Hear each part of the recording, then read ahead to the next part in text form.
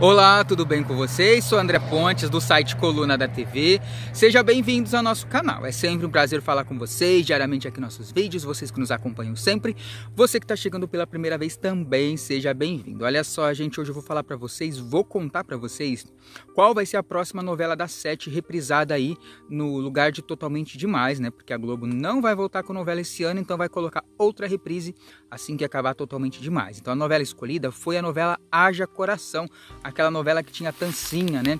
Que na primeira versão foi feita pela Cláudia Raia e na, na versão de 2016 foi feita pela Mariana Ximenes, tá? Essa novela é do Daniel Ortiz, ela vai entrar no ar mais ou menos lá para outubro no lugar de Totalmente Demais. Então, é uma novela até legalzinha, é bem humorada, gostosa de assistir, né? Bem um clássico do horário, do horário das sete aí. Na primeira vez, ela também substituiu Totalmente Demais em 2016, vocês lembram, né?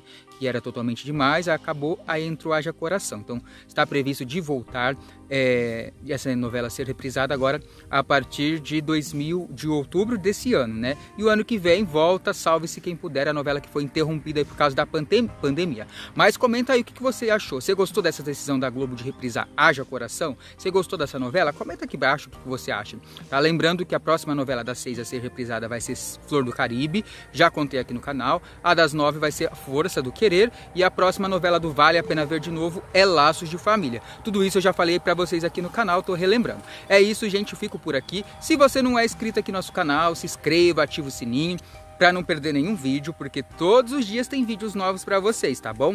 E olha só, meu Instagram esse que tá na tela, Pontes, sigam lá, acesse o site colunadatv.com, curta a página do Coluna da TV no Facebook, que tem informações novas para vocês todos os dias, hein? Então, não deixe de se inscrever no nosso canal para ficar ligadinho em tudo que acontece por aqui. Um beijo para vocês e a gente se vê em outro vídeo.